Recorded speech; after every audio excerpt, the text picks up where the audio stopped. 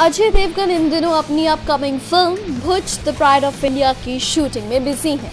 आपको बता दें कि Bhuj the pride of India की कहानी 1971 में हुए इंडिया पाकिस्तान वॉर की दास्तान पर बेस्ड है।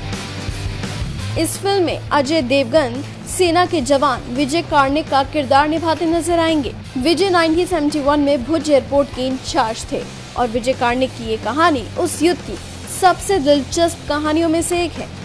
क्योंकि तब गुजरात के भुज में विजय कार्निक ने वहाँ की इलाकई महिलाओं की मदद से इंडियन एयरफोर्स की एयर स्ट्रिप को ठीक कर दिया था और इसे भारत का पर्ल हार्बर मोमेंट भी कहा जाता है। और अब इस फ़िल्म के सेट से अजय देवगन का लुक भी लीक हो चुका है, जिसमें अजय आपको एयरफोर्स ऑफिसर के अवतार में नज़र आ रहे हैं। पिक्चर देखकर लग रहा है कि शायद ये किसी सॉन्ग की शूटिंग चल रही है, क्योंकि इस पिक्चर में कुछ लेडीज़ नगाड़ा बजाती नज़र आ रही हैं। तो वहीं अजय देवगन अपने सीन के लिए रेडी हो रहे हैं। आपको बता दें कि वैसे तो इससे पहले भी अजय देवगन को आप कई वॉर ड्रामा फ़िल्मों में देख चुके हैं। मगर ये पहली बार है जब अजय किसी फ़िल्म में एक एयरफोर्स ऑफिसर का किरदार निभाते नज़र आएँगे। इतना ही नहीं, इस फ़िल्म की शूटिंग हैदराबाद में हो रही है।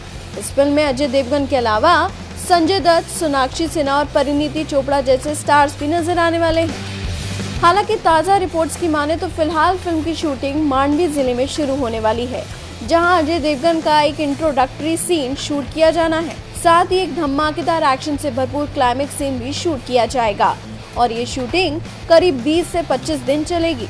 इस हाई वोल्टेज एक्शन सीन की शूटिंग के लिए बुल्गेरिया और वियतनाम से टीम बुलाई गई है, और इस एक्शन सीन को दिग्गज action choreographer Peter Hein direct करेंगे। कल अभिषेक दुधैया के डायरेक्शन में बन रही ये फ़िल्म 14 अगस्त 2020 को रिलीज़ होगी। तो भाई अजय के फैंस आपको कैसा लगा Bhuj the pride of India से? उनका ये लुक ज़रूर शेयर कीजिएगा अपनी राय कमेंट सेक्शन में।